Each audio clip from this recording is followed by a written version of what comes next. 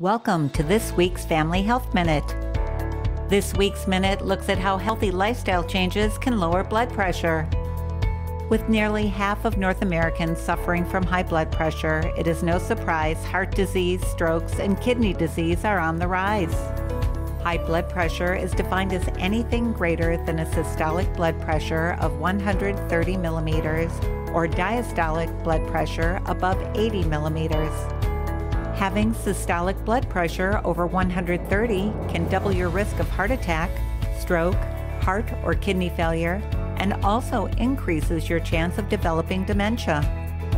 Studies show most patients can reduce their blood pressure to 120 over 80 or lower without taking medication by making lifestyle changes.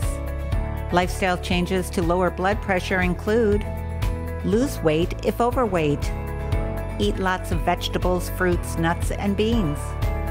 Avoid sugared drinks, including fruit juices and sugar added foods, red meats, processed meats, and fried foods. Get daily exercise and regular chiropractic care. Improve your overall health with a nutritious diet, regular exercise, quality sleep, a positive attitude, and regular chiropractic care. Make chiropractic a regular health habit for the whole family to ensure your spines and nervous systems are working the best they can.